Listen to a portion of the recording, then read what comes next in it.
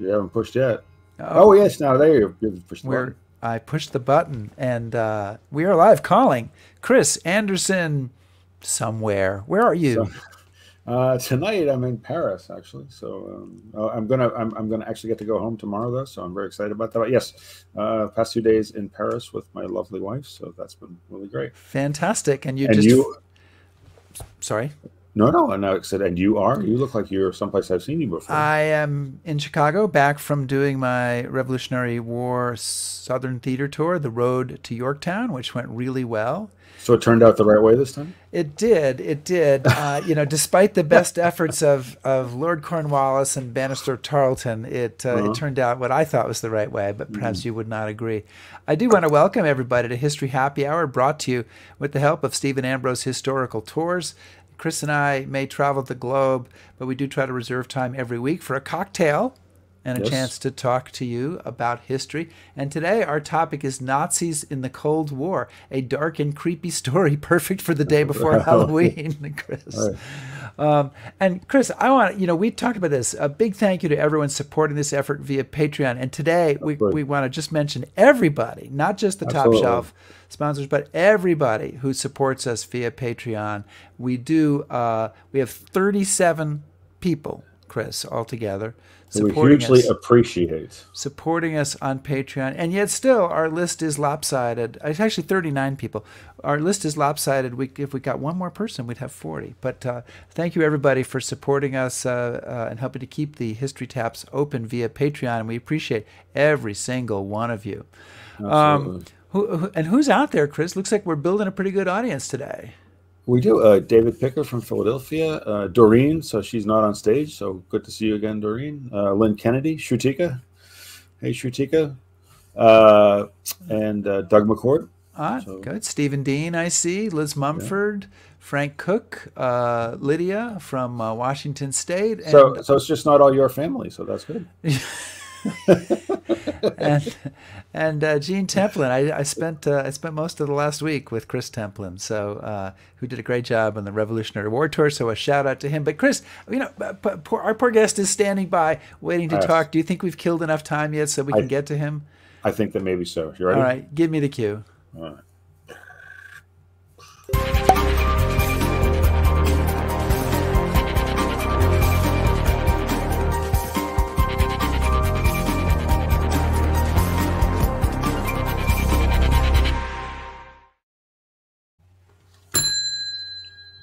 Is open. The bar is open. And uh, today uh, we have uh, a terrific show and topic.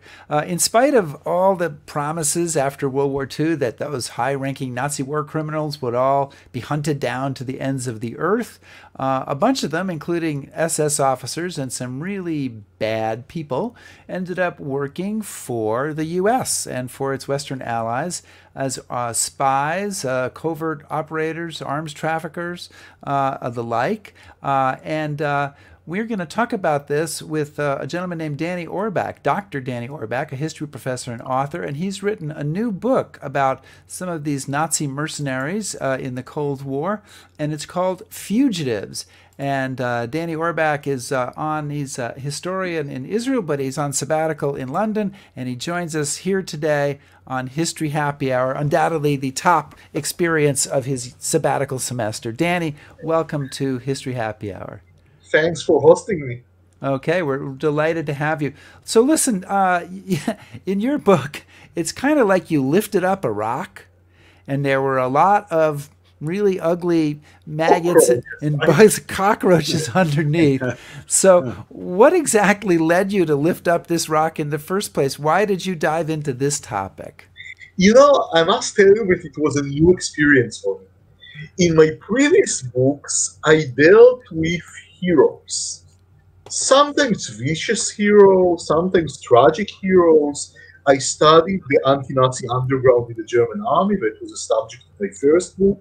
In my second book, I followed rebellious Japanese officers who might have been cruel, but these were people you could empathize with. And suddenly, in this book, I had to write about people who were really vicious and not only vicious but vicious in an unimportant kind of way. You know, you mentioned the, metaphor of cockroaches, so that was my feeling as well. So the I asked myself kind of once, twice, why is this important?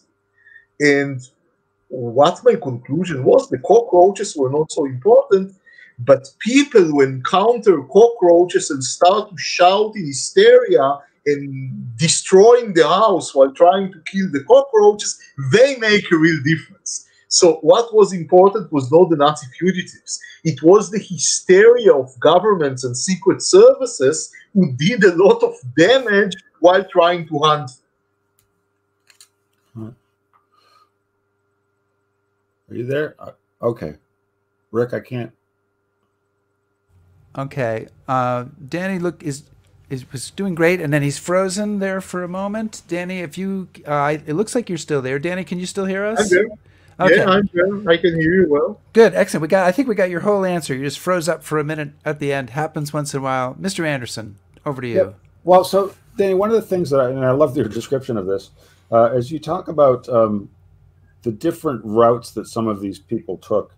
Um, because it isn't all you know they don't all take one side or the other. And you, you talk about the rubbish heap of ideologies uh, and they pick from this rubbish heap. So could you boy i've never thought i'd ask her this question on history happy hour can you tell me what sorts of rubbish you're talking about I'll explain this term. You know, Chris and Rick, some readers were quite offended that I used this term too much. I saw it in several reviews of readers. I didn't know why. So I think it's a good opportunity to explain what I meant. So, you know, during the 50s and the 60s, many people were afraid of neo Nazis. The Nazi memory was very strong, it was a living memory the memory of the Second World War. And if you read the press at the time in Europe, even in the United States, many people prophesied that the Fourth Reich is about to come, that it's only a matter of time.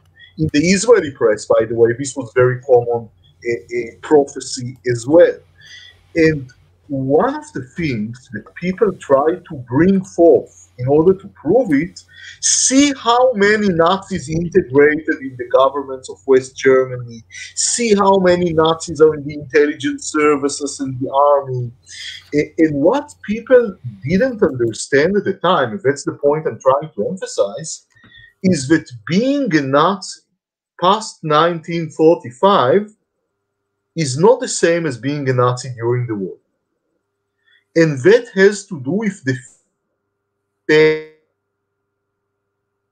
because the failure of Hitler was so catastrophic, it was so great that almost nobody, even the most enthusiastic Nazi, even the most hard, even the hardest believer, nobody could claim that everything was okay, that Hitler didn't do any mistakes, and the reality past 1945, the reality of the Cold War, was so different than the reality during the Third Reich, is that no matter how much you wanted, you could not be a Nazi past 1945 as you were during the war. You had to change your ideology because you had to deal with a strategic failure. And usually, the people who still wanted to keep some elements of this Nazi rubbish heap uh, their conclusion was that Hitler's mistake was making an. Germany could fight maybe the international Jewry. Germany could maybe fight the United States. Germany could maybe fight the Soviet Union, not all at once. And then what they concluded with neo Nazis after the war that they have to choose the element they like the most from the rubbish from the ruins of Nazi ideology because we have to pick a side or choose anti-communism and serve the West. Then we have to adopt democracy. So we have to drop aversion to democracy and we have to drop anti-Semitism, at least as a guiding principle of the state, because it doesn't work well with choosing the American side in the Cold War. You could choose aversion to democracy. Then you serve the Soviet Union and it means that you drop anti-communism. You can choose anti-Semitism and let's say serve Syria. like some of these Nazi criminals did, trying to find Israel. But then you have to drop racism, let's say, against people of color who are not Jews. You cannot keep everything at once. Some wanted to kind of more elements of Nazi ideology by being neutral in the Cold War, not picking any side. But then they had to choose a disarmed Germany because a neutral Germany in the context of the early Cold War was disarmed. Then, you know, being disarmed, you give up on Nazi militarism. My point is that all of them had to give up on something. And being a Nazi post 1945 was extremely different than being a Nazi during the war. And I urge our listeners to critically examine every time somebody tells them, oh, X is a fascist, Y is a Nazi contemporary politician. In what way? What does that mean in the context of contemporary politics? It, do, it doesn't mean what it meant during the Third Reich. That's one of my main points. So, um, one of the things that you write about, uh, as you write about these these different Nazis uh, uh, from from Germany who are kind of making their choice about whether they're going to try to work with the U.S. or try to work with the Soviet Union or or work with Syria or mm, in some cases perhaps work with Israel. Uh, one of the things you write is you say this is a book about illusion. Illusions about these uh, Nazi, former Nazi mercenaries, and illusions by them, illusions that they had. What, what, tell us more about that and what you mean that it's about illusion. I think it's you divided it in a correct way. It's illusions of Nazis and it's illusions on Nazis.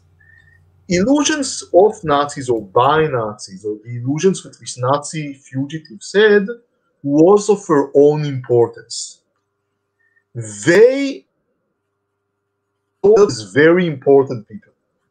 When they served the United States, so they were the experts to the Soviet Union, the experts to fighting communism. They believed there would be a linchpin in the Third World War, leading the West to a victory against communism, what they couldn't do uh, last time. Of course, uh, for the West were merely tools to, you know, complete some gaps of knowledge about the Soviet Union, but they were way less important than they believed. The people who served in the Soviet Union tended to think that they were kingmakers, you know, maneuvering between two world empires and cheating them both. The Soviet Union's I think we've had a little hiccup West there. Germany. Were tools which were used by the Soviet Union and then dropped aside. And the most interesting in this case, I believe, are the Nazis who served, in, let's say, the Algerian underground, or forces in the Third World, or Syria. They believed that by bonding with third world countries and with anti-colonial undergrounds, they could establish a new version of Nazi great. So the, the profits from this illegal arms trade to build a Nazi underground or a government in exile or a shadow kind of force, a third force in Europe. Of course, this very less important than they believed, mostly petty mercenaries uh, in all uh, terms. And even the people who served Syria, Alois Brunner, he taught the Syrians some torture techniques, but he was dropped by the Syrians when they didn't need him. So they had illusions of greatness. I think that way more important were the illusions that governments and secret services had about them. Because in the 1950s and the 1960s, the word Nazi was so frightening. You know, you heard Nazi, you thought about concentration camps. You thought about D-Day. You thought about the grand battles of the last war. You thought about Stalingrad. You thought about something mighty. And when, for example, the French heard that Nazi former Nazi in and helping the Algerians, for the conclusion was this is a deadly enemy that we have to fight. When the Israelis heard that Nazi rocket scientists are serving the Egyptians and helping them to develop a program for accurate, precise rockets that can hit anywhere in Israel. So the Israeli conclusion also is going to be a second Holocaust. The Nazis are trying to exterminate us again, now bonding with the Arabs. And in all cases, these were the German arms merchants helping the Algerian underground were not that important. The rocket scientists in Egypt were not that important. The Egyptian project had actually no chance to succeed. And it was not as dangerous to Israel as the Israelis believed. Actually, it was not dangerous at all. But what mattered? The response. Because when the French wanted to stop the Nazi arms merchants, they launched a campaign of assassinations against the Germans, as I describe in the book. And this campaign of assassinations, A, uh, soared the relationship between, between West Germany and France exactly when the countries, these two countries, needed one another the most. And also, it paved the way for overt Chinese, Red Chinese, and Soviet involvement in the arms trades to the Middle East. So the French, instead of kind of following these German arms merchants, maybe sabotaging their shipments,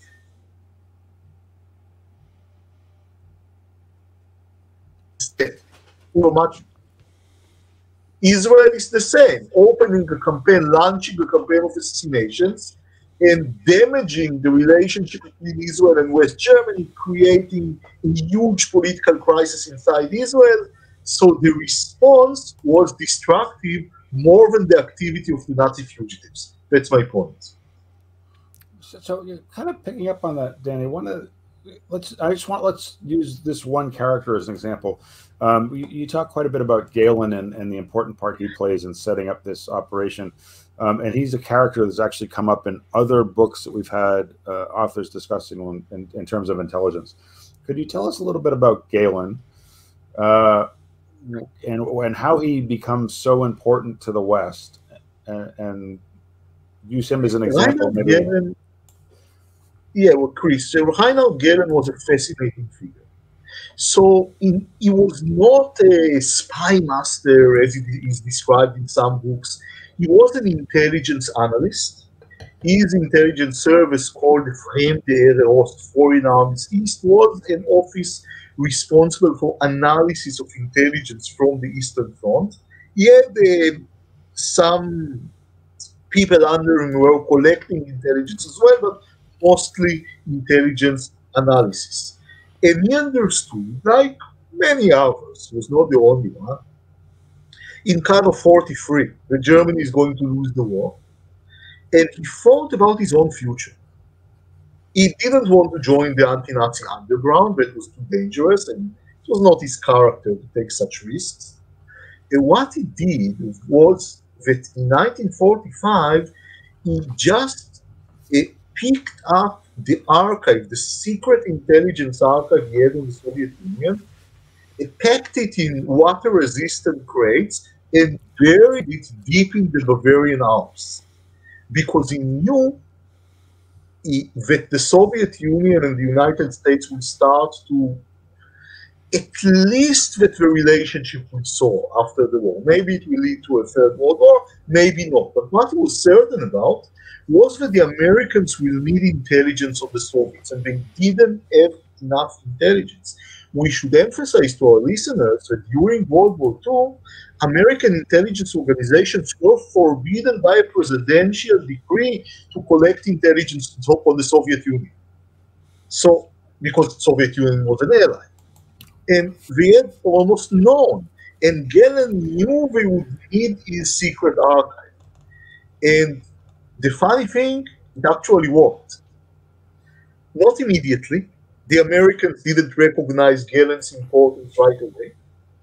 But once the news about his appearance kind of rolled down the line and up the hierarchy, US officers from G2, military intelligence, have a treasure trove of intelligence, and they took Gehlen as a kind of mercenary of the United States. He was one of the first intelligence entrepreneurs to appear after the war and kind of establishing an intelligence record serving the American army. Uh, he was never that talented. He was never that good.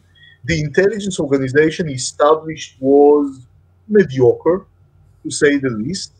The thing is that Gehlen was very skilled politically to display himself, to portray himself to the Americans as the only one available.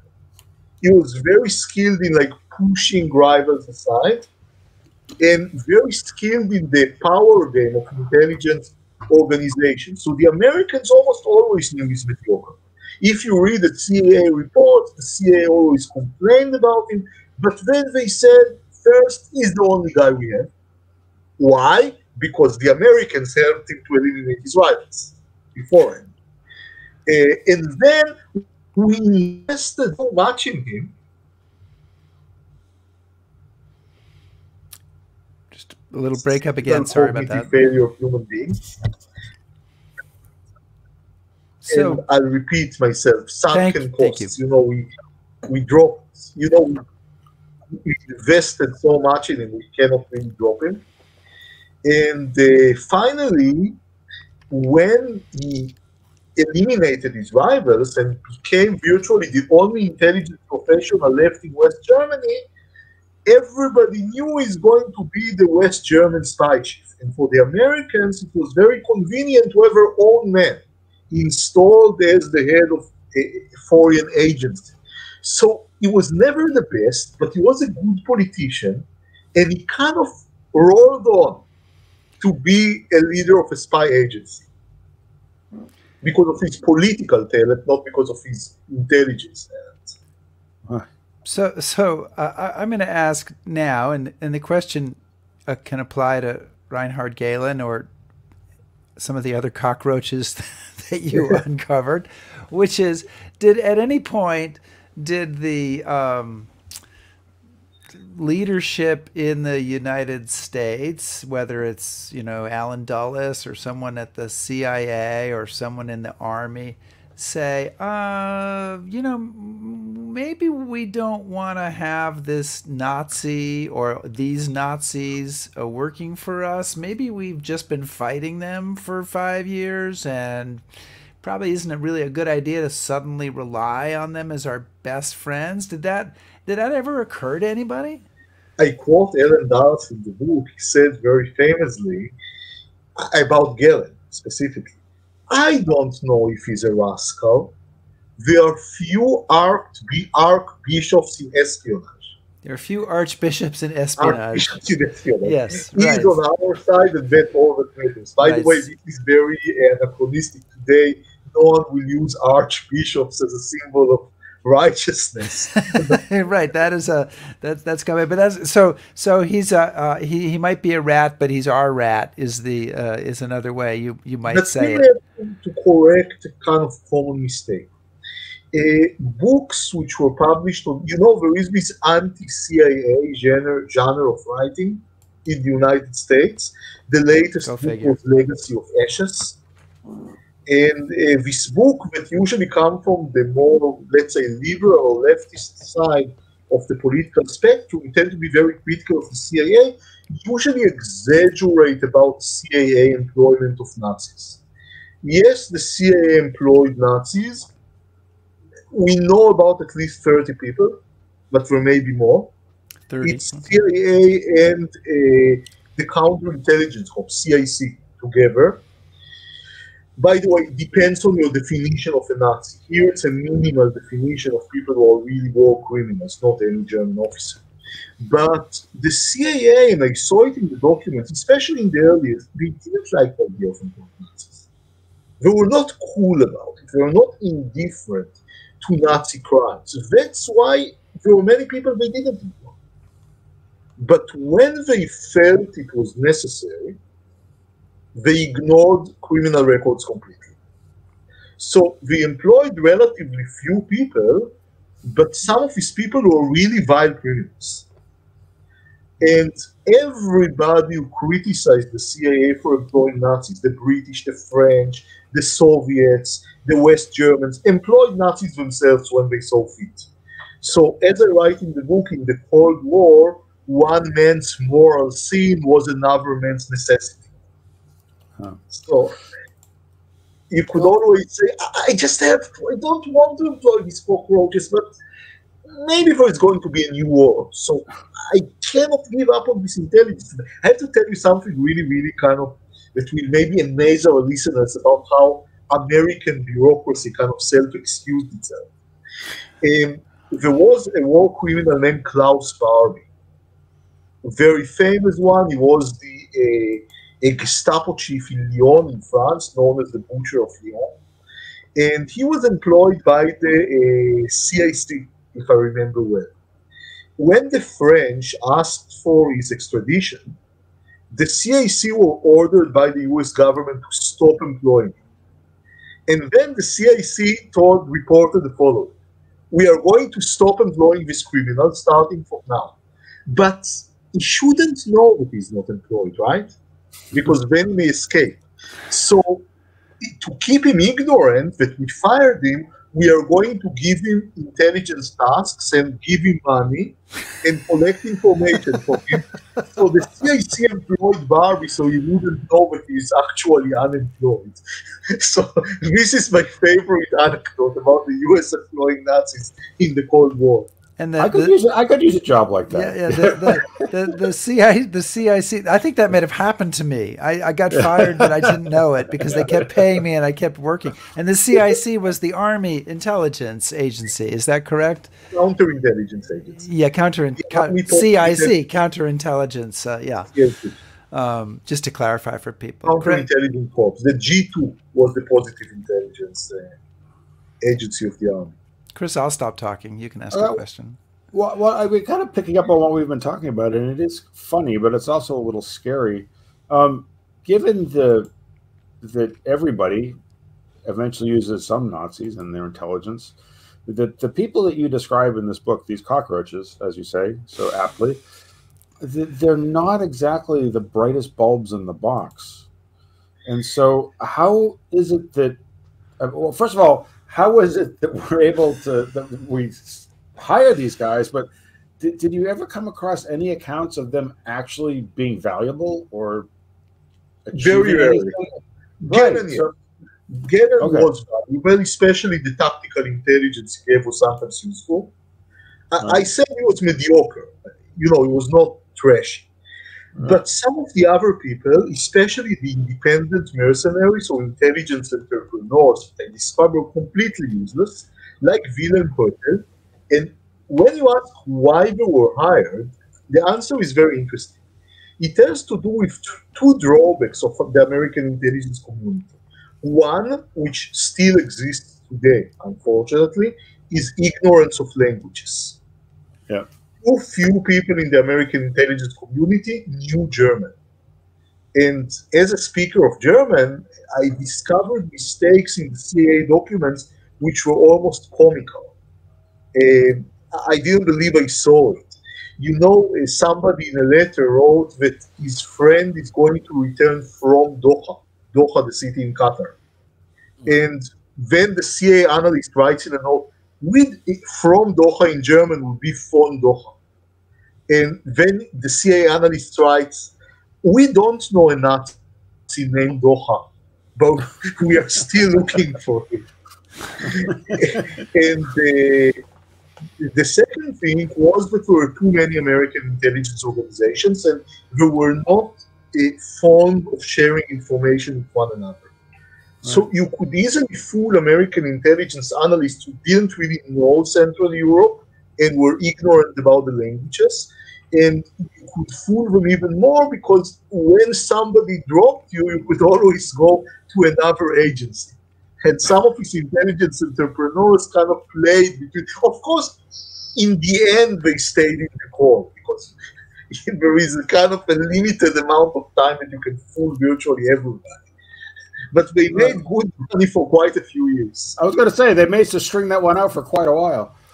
Yeah, it's kind of we since we were talking about archbishops, it's kind of like people being transferred from one diocese to the other uh, when there's a little bit of wrongdoing uh, of one kind or another. Don't want to push that metaphor too far.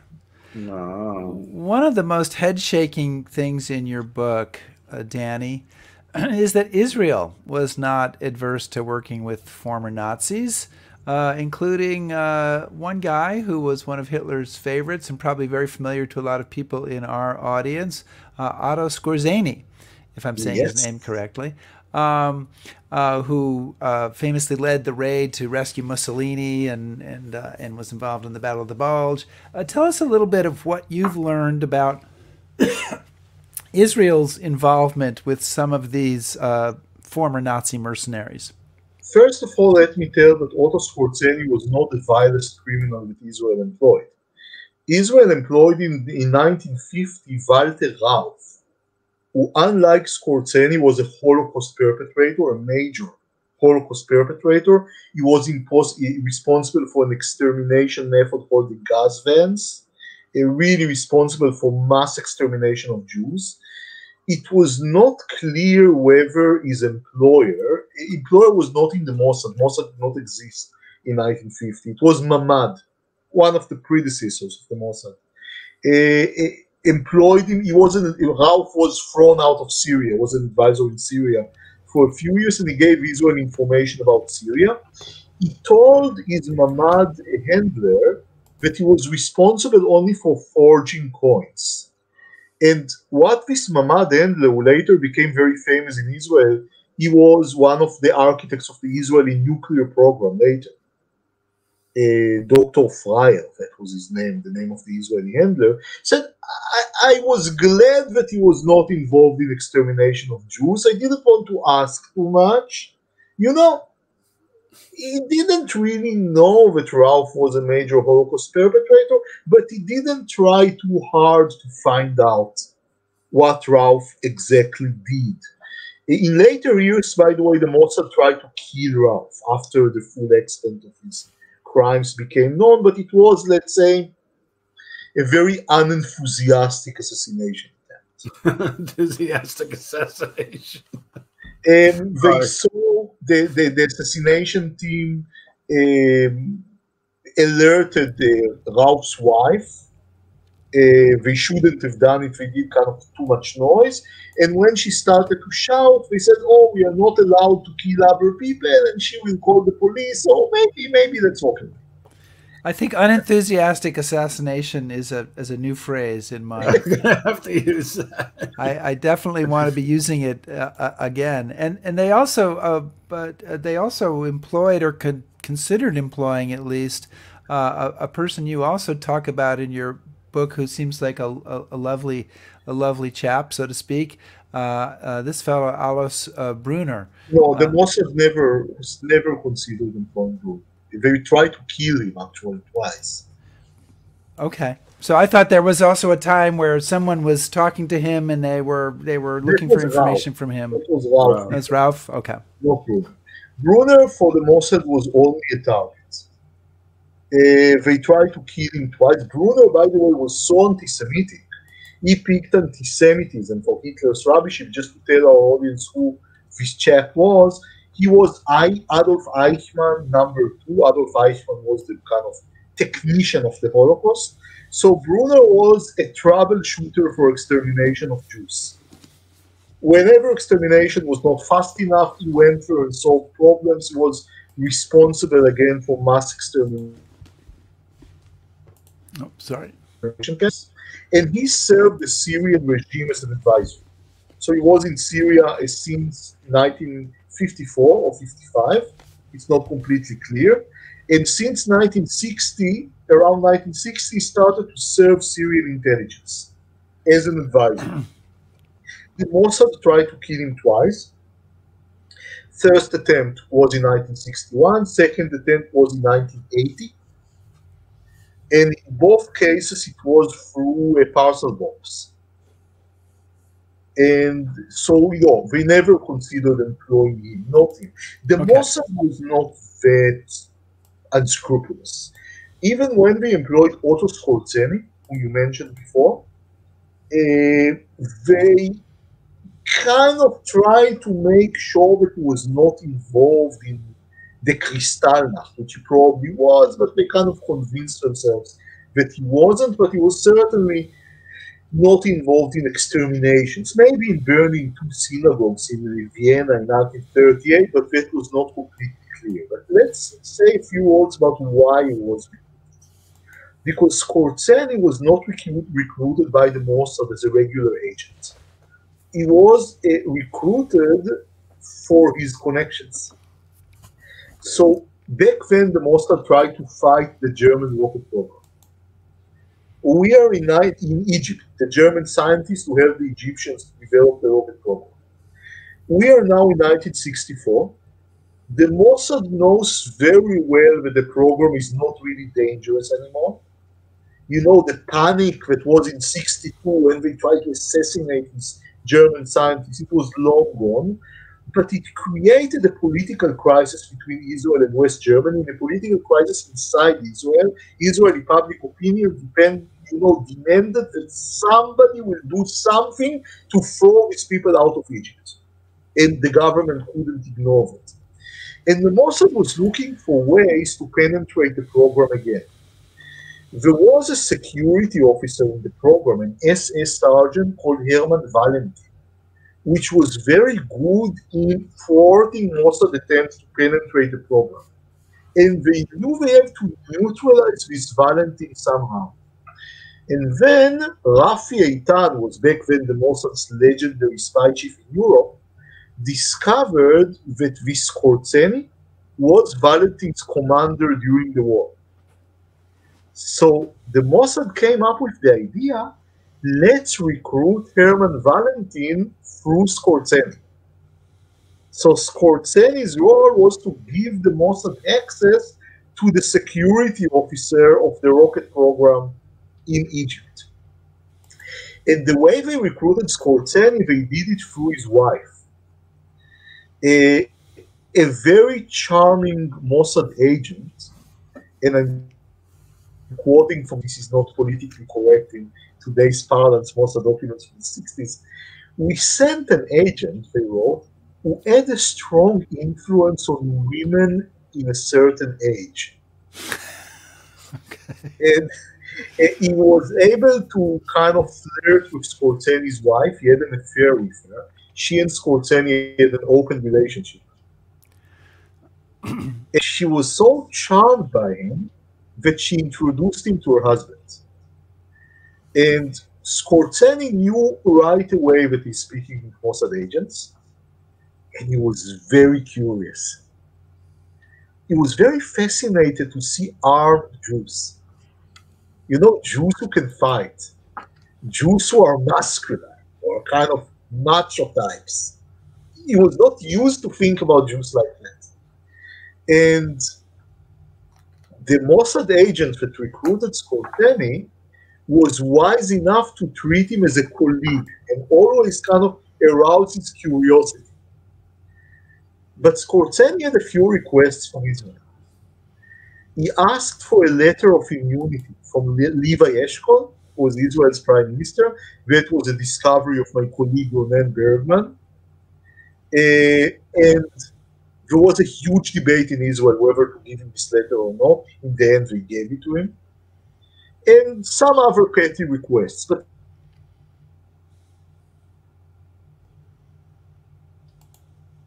with curiosity. And by the way, in the world of intelligence, many agents are recruited like that. He loved the conversations with, with his Mossad we see documents which are kind of so funny when you read them from the perspective of today. We spoke, writes the Mossad handler, we spoke about world affairs, including apartheid South Africa, and he shocked me with his deeply racist views. Why do you speak with a Nazi? What do you expect?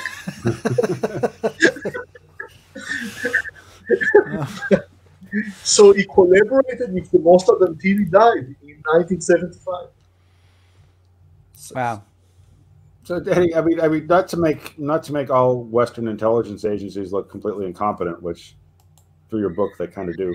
Um, we'll, we'll, broaden our scope a bit here. Um, can you tell us a little bit about um, Otraco? What was it, and, and was it any more effective Otraco eh, is a, an acronym for Orient Trading Company. This was a scheme of neo-Nazi arms merchants to, first of all, to make money, to sell arms uh, to the Third World. The arms almost exclusively came from the Soviet bloc. Uh, remember, after the Second World War, there were many, many arms to spare. You know, there was a huge excess of weapons and somebody wants to sell them to make money. And many of his weapons were Germans, other were Czech, actually, made in Czechoslovakia. And Otraco sent them to various countries in the First War, but the Third War, but their most important destination was Algeria. And they wanted to help the Algerians fight the French, also to make money, but also out of a kind of leftover Nazi ideological scheme of an alliance between Germany and the Third World against the capitalist powers, the democratic capitalist powers, especially France, which are hated. I must say that the war between France and Algeria, the Algerian War of Independence, had torn the neo-Nazi community apart. Many neo-Nazis volunteered to serve France in the Foreign Legion because they were what they called traditional racists. They want to fight the war of the white race in Algeria, as we saw it. But other Nazis held opposite views. They didn't care about this kind of racism anymore, but they did care about fighting the West which is another element of Nazi ideology. So this goes back to which which thing you're picking up off the rubbish heap. Exactly. And Otraco was a scheme. It was, you know, shared by arms merchants in Germany. Most important of which was a, two neo-Nazi leaders called Ernst Wilhelm Springer and Otto Ernst Remer, and they collaborated with Nazis in the Middle East, including this exterminator of Jews, Alois Brunner, who's hiding in Syria and he was part of his Otraco scheme as well. And uh, the French, who were really afraid of the influence of Otraco, tried to assassinate members of his network. In the end, they were able to kick these German arms merchants out, but they received again the Red Chinese and the Soviets instead. At the same time, Reinhard Gehlen was the spy chief of West Germany, try to recruit some members in Otraco in order to use them as agents of influence in the Middle East. And by doing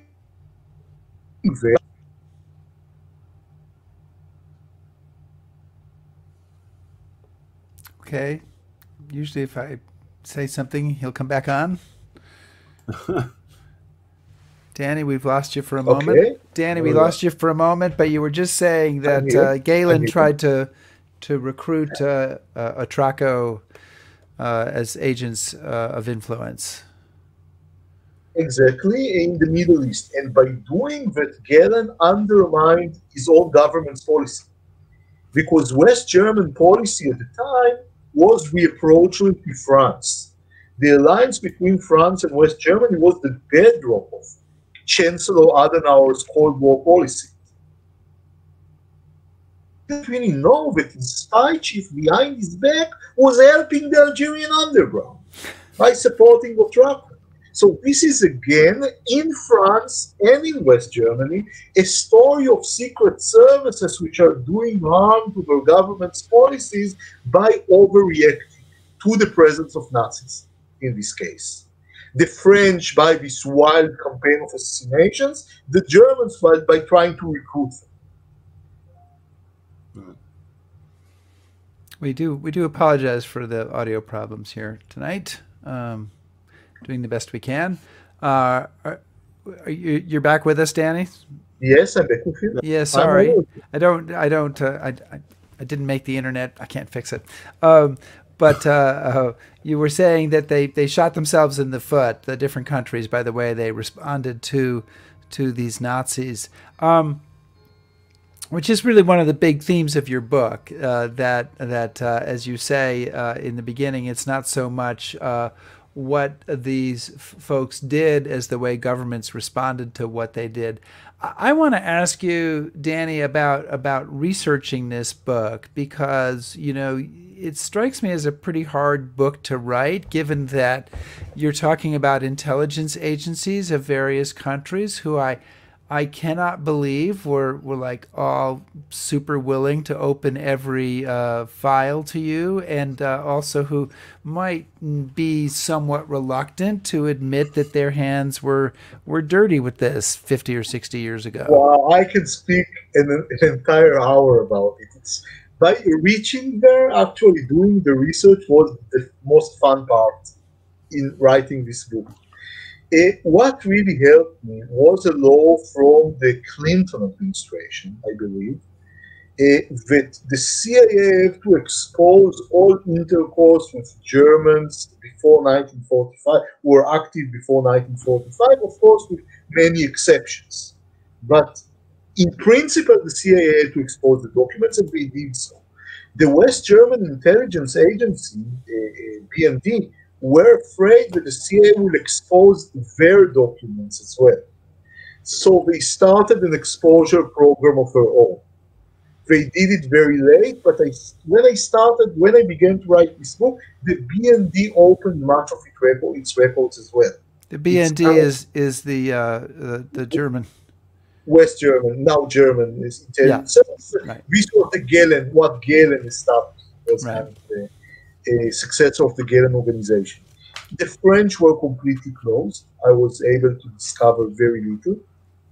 I, I heard if we are going to maybe in the next year or so, uh, if so, there may be interesting news. And then foreign ministries, justice ministries, uh, internal security services were way, way easier to approach. But the most fun story I have is about uh, the getting the Mossad documents. I tried to use those sort of connections, and nothing worked. And in the end, I did it in the most boring way. I sent a letter to the spokesperson unit of the Prime Minister's office. And it worked. like after one year and a half, my wife calls me urgently. You have a very thick envelope, she told me, from the Prime Minister's office, which was stuck in our mail about to fall down to the cats below.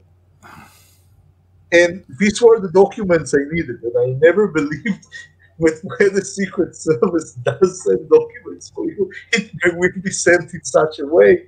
But that's how it happened. Wow. What we really lack are documents from Arab secret services. Almost we have nothing. And then I have to tell something about my own laziness. What you have here in Britain, specifically in Cambridge, and actually 500 meters from a current apartment, there is a college called Churchill College. In Churchill College, they have a, the Mitrokhin collection. Vasily Mitrokhin was a deserter from the KGB who brought a lot of documents to Britain. And when I inquired in the beginning, they were they, they were ready to give me all relevant documents of the Middle East to send me scans. But had to, I had to pay 50 pounds and I was lazy and I was stingy. And then I said, you know, uh, the, my research is really in initial stages. When I'll need it, I'll get it. Oh, it's okay to wait one year, two years, nothing will happen. But then they sharpened the security procedures, and I couldn't access these documents any longer. So, scholars who listen to us, don't be lazy. Pay to learn a lesson. Don't be lazy. Get the documents now and worry about the 50 pounds later. exactly. So, so Dave, so uh, I'd like to think that there was a moment when all of um, these intelligence agencies kind of came to their senses and, and pulled the plug on all this. But but how or when or why did people finally come to their senses and go, these people are a bunch of chumps? people virtually lost interest. I think it was more, you know, the famous saying by General MacArthur, all, sol- all soldiers don't die, they just fade away. Right. I think that interest faded away in the mid 60s. Right. So the Americans knew enough about the Soviets now, we didn't need. Especially there was when SIGINT was raised in importance in the late 50s in the early 60s, you don't need this kind of dubious human or human sources or German spies any longer. Eh, the French left Algeria. Otraco was no more, you know, because it lost the, it was actually scattered to the four winds. I tell the story why they kind of fought with one another and it was kind of destroyed by the French assassinations. The Gehlen organization was purged of Nazis in the early 60s because of the Felfe spy scandal when they discovered that some of these Nazis uh, were Moors. The Israelis lost interest as well after the rocket, this kind of crisis of the rocket program. Everybody was tired. Nobody wanted another Eichmann trial. Nobody cared about Nazi hunting anymore. I like to tell a story that in the 70s, there was still a department in the Mossad hunting Nazis. And the department responsible for agent handling in Europe um, found a piece of intelligence about Alois Brunner coming to Europe. It was untrue, by the way. And according to procedure, they should have gave it to the department responsible for Nazi hunting, and it took them three months to do so. when the two departments were in the same corridor, the distance was 100 years. You know, sending a letter taking three months where you are 100 meters apart, that's certainly an achievement of the Mossad that you didn't see in other intelligence agencies. Uh, so everybody lost interest, and uh, even in the uh, even the Syrians, by the way, kind of tossed aside Alois Brunner when they learned enough of him. And these Nazi adventures were also very unreliable. So the last time the Otraco guys really fooled the Syrians was when the two leaders of Otraco were able to sell the Syria the idea that they may help them to develop a rocket program, like Egypt did. Ah. so the Egyptian program was completely trashy, but it was a program. Right. The leaders of Otraco didn't know anything about rockets. They just took money from the Syrians. And after a few months, the Syrians discovered it and told them you have 24 hours to leave the country, and they never returned. So everybody got tired. It just faded away. Right. One, and one of the things that, that is important to say here, uh, we're using an, a, a, a, viewer asked about it. We're using the word Nazi, and, and obviously there were a lot of people in Germany who were in the Nazi party who weren't uh, high ranking Nazis, but many of the people we're talking about are folks who were in the SS, people who were. Yeah. Uh, part of the uh, the army, people who were connected with like Skorzeny, who were connected with Hitler. These are not run of the mill, low level uh, German uh, citizens who just got caught up in Nazism. These were people who were, in many cases, pretty enthusiastic adherents of uh, of the Nazi Party and, and what Hitler was trying to do, and of his own intelligence organization. So, right? I mean, I that's that's at least my impression from the book. That was actually one of the most difficult things for me to define what a Nazi is and we spoke about the rubbish heap before. Even people who defined themselves as Nazis after the war were not Nazis in the wartime sense. Nobody could be a Nazi in the wartime sense. But if you really want to be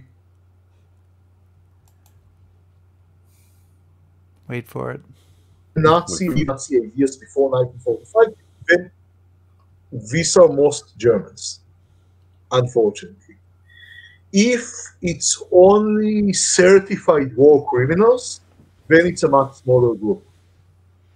If it's everybody who served in, let's say, explicitly criminal organizations, like the SS, the Gestapo, the, the Reich Main Security Office, then it's a bigger. But then, but what about the army? No, not every soldier was a war criminal, but we know today that the Wehrmacht, the German army, was responsible for many war crimes. Uh, may, or maybe a Nazi is somebody who defines himself as a Nazi after 1945. Again, then we, it's a much smaller group of people. It's very, very, very uh, problematic, and, and uh, evidence for that is that the scientists who worked in Egypt for the rocket program, as far as I know, very few of them define themselves as Nazis or even cared about Nazi ideas after 1945. He just wanted to make money. But in Israel, the word defined automatically as Nazis. Because these are Germans who are against us, so they must be Nazis.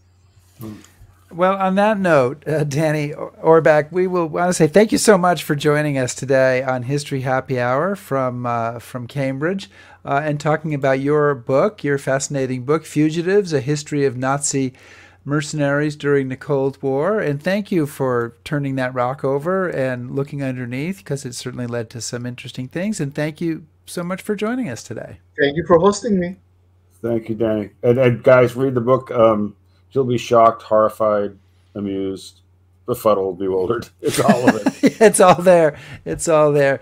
Uh, so we'll say goodbye, Danny. We'll say goodbye to you later off the air. Thank you so much for joining uh, us. Thank you. Okay. Um, uh, uh, yeah, wow. Nazis and and what is a def defining a Nazi? Which it really is a good question, right? When you know we, we throw that word around, what does it mean? Um, Chris, next week we had a live episode planned, but scheduling got in the way, so we have uh, we have forced to postpone. And next week mm. we are going to have on um, a, um, a, rerun, uh, an encore episode with uh, Lynn Olson talking about Marie Madeleine One of our favorites. Really a great show. It's, it's, almost two years since we had this show on the air, and uh, mm-hmm. uh, we've never run it again. So I think that that's one that people will enjoy. But then we'll be back live, uh, and uh, I'll spring this on you uh, right. to tell you tell us about the topic. But it's a place that you've been. Um, yes, many times. One of uh, my favorite times. places. Yeah. So what's this about? Uh, it's about uh, the the Second Ranger Battalion at a place called Hill 400, and um, what's really fascinating is uh, Len Lomell, who was one of the central figures of the Second Ranger Battalion, famous for what he did at Pointe du Hoc uh, on D-Day. I knew Len very well, and he always told me that uh, if you asked him what his longest day was, it was the battle on Hill 400. He said D-Day was easy compared to Hill 400. So uh, this new book is just about that fight uh, at Hill 400, and, and it's fascinating. So we're looking forward to those uh, two upcoming shows, and a reminder that all of our programs are archived on YouTube, and that you can listen to episodes now on the History Happy Hour podcast. I know. So when you're stuck in traffic, I know. Available on uh, in various places that podcasts are available: Archive, uh, Apple, um, um, Spotify. I don't even know. Stitcher, Pocket Cast. We're trying to get on the Google podcast. things I haven't even heard of. It's out there. You can listen now. You don't, you know, you can put it in your car. You can listen to episodes over and over again. It's so exciting. I think, it, and and people are already listening to the podcast, Chris. So that's exciting that's cool. as well. So, so we're podcasters now. Wow. soon, soon maybe we can be influencers. Ooh. I don't think we're going to influence anybody. Okay. That's anyway, a scary visual there. Yeah. yeah, really. Listen, keep learning and keep living. Keep living and keep learning, everybody. Thanks for joining us. Thank you. Be safe, everybody.